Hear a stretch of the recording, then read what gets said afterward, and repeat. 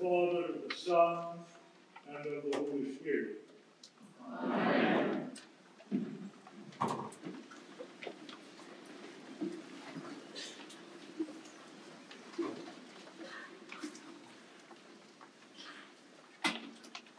You may have wondered why the presiding bishop has called this meeting today. Well, he did so because you who are the Diocese of South Dakota, in concert with the Holy Spirit, have called Jonathan Hunter Folts to be your 11th bishop. I happen to know him.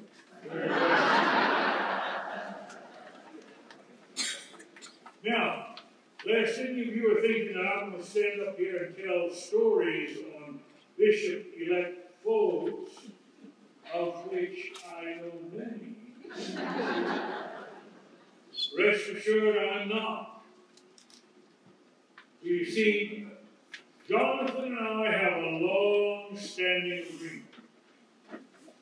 And that agreement is this I won't tell stories on him in public if he won't tell stories on me in public, of which he also knows many. During the lead up to your recent Episcopal election, your current bishop, John Cannon, together with the Reverend Dr. Chris Corbin, wrote two fine articles on the history and role of bishops, especially the Bishop of South Dakota. Dr. Corbin traced the history and rationale of the episcopacy from the original apostles chosen by Jesus down to the present apostles whom we call bishops. Men and women called by the church through the power and inspiration of the Holy Spirit into apostolic ministry. Bishop Tarrant wrote specifically and with great affection and wondrous appreciation about apostolic ministry in South Dakota, with all its opportunities and all its challenges. He undertook this calling ten and more years ago, and he did so even as you would have expected him to. His love for and devotion to the people he was called to serve rang clearly all through his writings. You who are the Diocese of South Dakota were blessed to have had him. And I'm sure that he would declare without hesitation that he was even more blessed to be called by you into this holy relationship and ministry. In my 12 years of driving all over the 66,000 square miles of my home diocese of West Texas, it was not an uncommon experience for me to encounter people who wondered what in the world I did besides drive 50,000 miles a year and never go north of Austin. and when time would permit, I would tell. Basically, the work and ministry of anyone who is called to serve as a diocesan bishop in South Dakota or West Texas or anywhere else described and defined by three basic responsibilities. These are responsibilities that the bishop and the bishop alone have. So let's take them one at a time. First, the bishop is the chief vision caster for the diocese. This is the prophetic role. Now, the bishop can talk with whomever he chooses, and he will. He can elicit input from any number of sources, and he will. But when all is said and done, the vision for the life and ministry of the diocese during his episcopacy is his to proclaim, and proclaim it he must. Such a vision must be exciting. It must be attractive. It must be engaging, energizing. It must entice people to want to be a part of it. It must call people into an enthusiastic and willing embrace of real sacrifice. Real sacrifice. Real sacrifice, you must remember, is always a gift we make from our very being. It is not a gift we make from our excess. It is not a gift we make from that which we have but do not need. Rather, a gift we make from our very being, which gives glory to God by being of benefit to somebody else. First and foremost, such a vision must be focused on growing the church, on making the Christ known to those who know him not, of whom there are plenty. Remember, Jesus did not say, Go ye into all the world and keep my church small. we Episcopalians sometimes are overly enthralled with our quaintness and our coziness. And we use that as an excuse pridefully to proclaim that we don't have a need to talk about numbers. Well, good Baptist pastor friend of mine says, yeah, the truth is, you Episcopalians don't want to talk about numbers because you don't have them.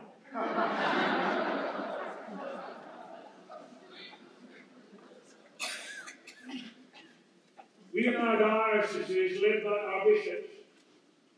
Must always remember that the church is the only institution in the whole world that exists primarily for those who don't belong to it. They are our reason for being. We are not our reason for being. Those who know not the Christ are our reason for being. We are not our reason for being. So the first task of the bishop is to be the vision caster but how together we're going to be faithful to our Lord's command and to go forth into all the world and grow this church. Second of the bishop is pretty clear. The bishop must be the one to provide primary leadership to access the resources, both human and financial, that are going to be necessary for the diocese to be able to live into that vision. But remember, bishop cannot lead the diocese into that vision all by himself. If he tries to, if he tries to be a Lone Ranger type of bishop, he'll always have Tonto for his best friend. Now, if you go read this Spanish, you'll remember that the word tonto really means the bishop has to fail, and he has to have a lot of it. Remember, too, Jesus was not a one man show.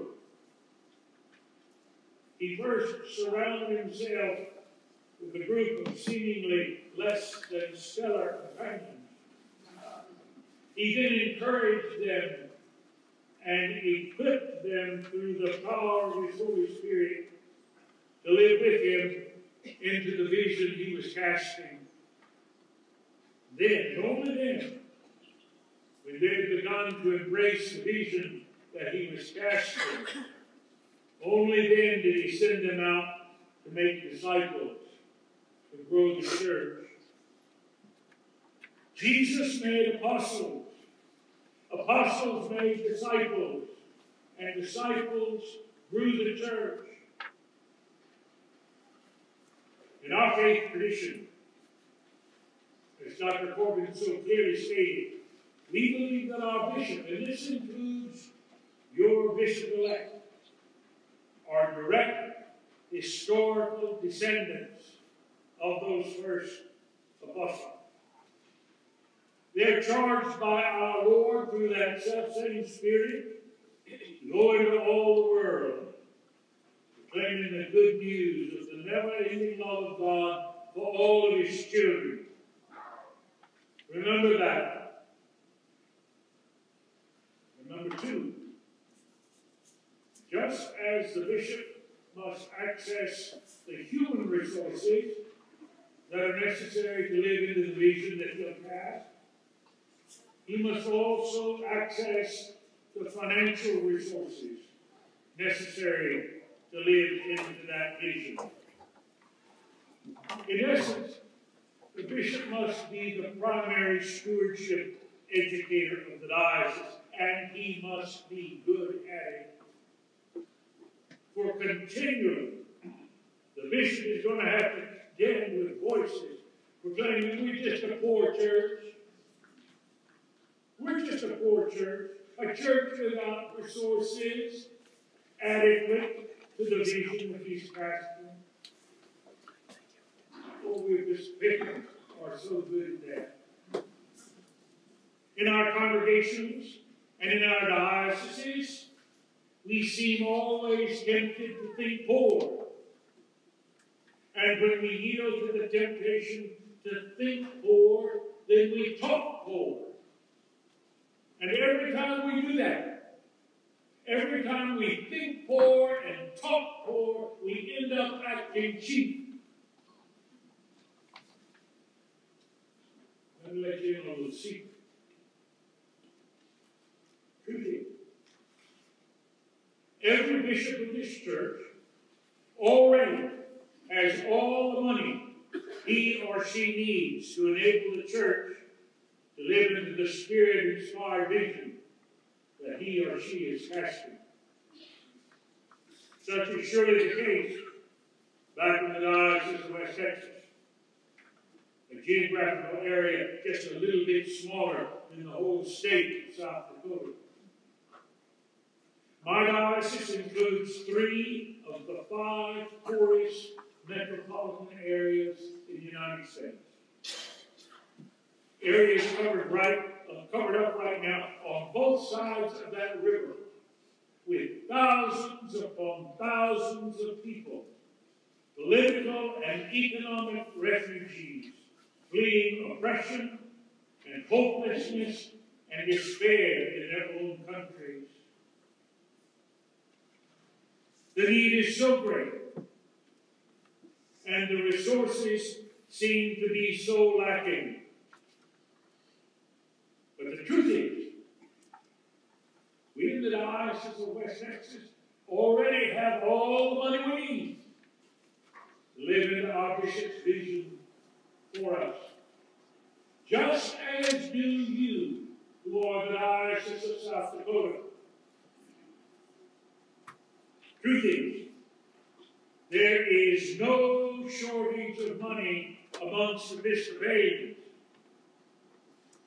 every rector, every priest in charge, every vestry, every bishop's committee in this church already has all the money they need to enable the church to live into the spirit inspired vision that's being cast. This is true in your diocese, even as it is surely true in my diocese. So, what's the problem? The problem is most of that money is still in our pockets.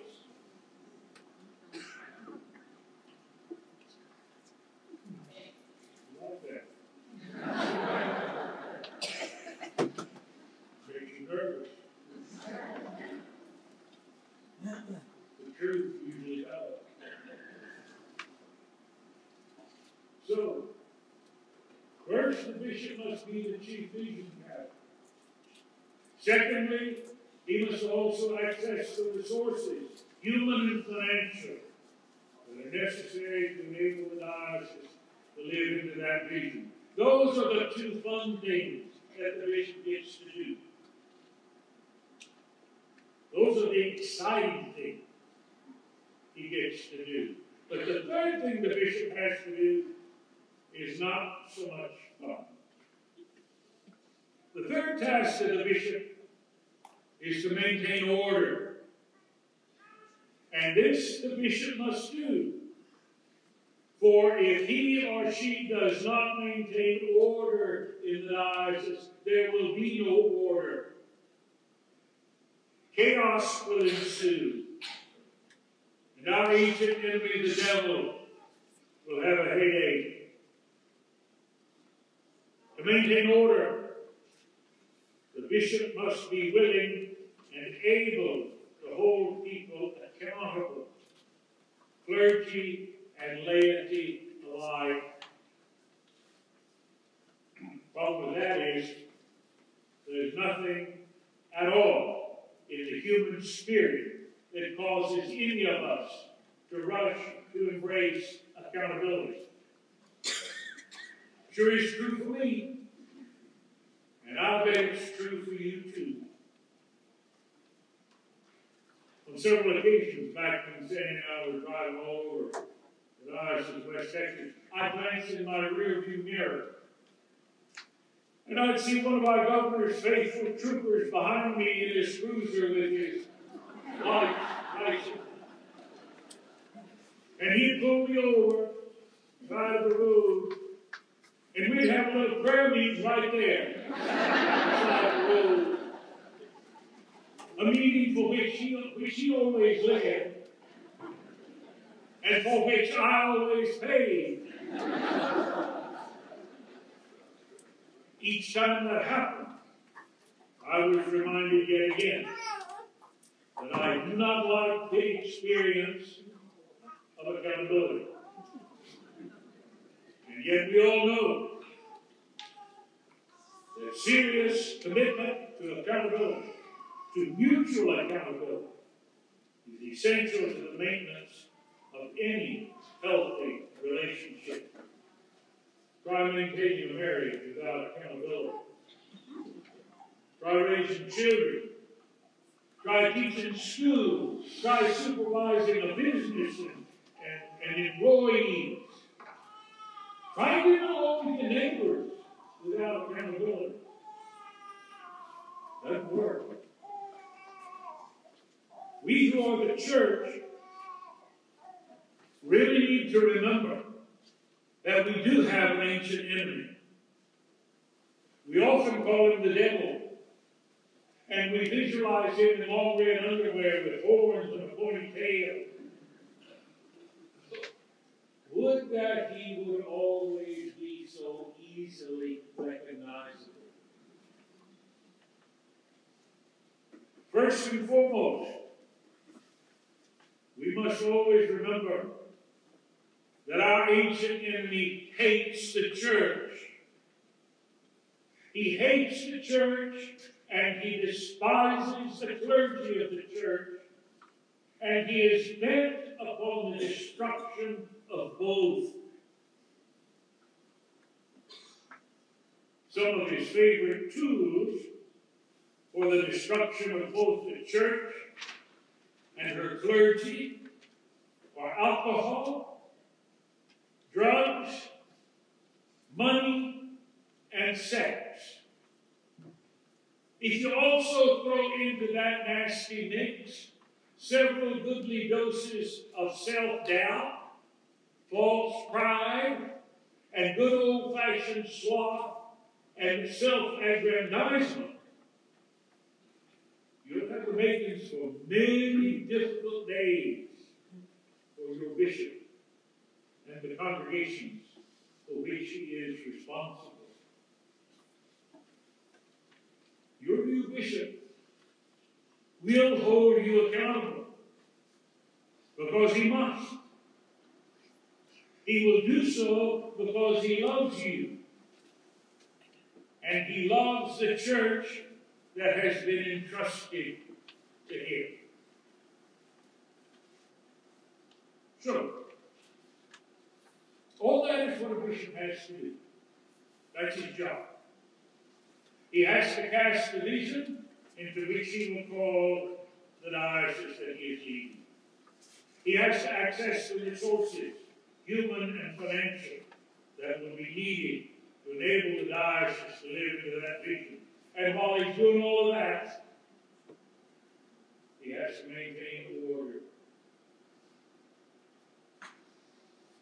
Jonathan, my son, and my brother, soon to be my brother, stand up.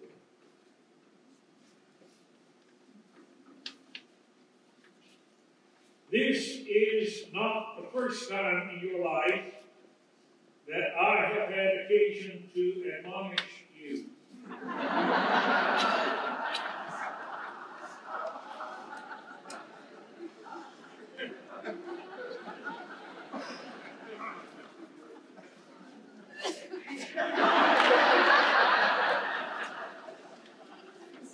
but God willing, I do believe it's going to be the last.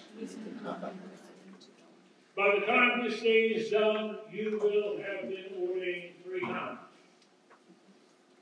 23 years ago, you were ordained a deacon. 22 years ago, you were ordained a priest. Now today, you will be ordained a bishop. Of those three events, those three ordinations, you must always remember that the one that changed your life the most was that first one, the one that made you a deacon.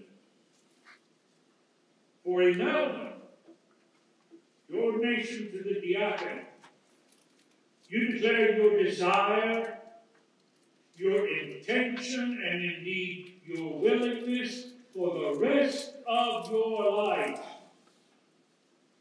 to be a servant. Then, in the due course of time, you responded to the call of your Lord through his church to submit yourself to ordination as a priest. And now today, you're about to submit yourself to ordination as a bishop. Truth is, ordination to both the priesthood and the episcopacy are but subsets of that first ordination, the ordination to the diaconate. For essential to all three, but the one declared first and foremost in your ordination to the diaconate is that willingness, that commitment, first and foremost, to be a servant. I have every reason to believe that you know this great truth. And that you believe this deep in the very core of your being. The office and ministry of bishop is now to be entrusted to you. Treasure that office. Protect the integrity of that office. But take great care never to equate yourself with the office. You no doubt will remember that years ago, you and I would occasionally play chess, a game which you came to play very well, so well that most of the time you beat me. My final admonition, my final admonition to you this day is to remember always that when each game of chess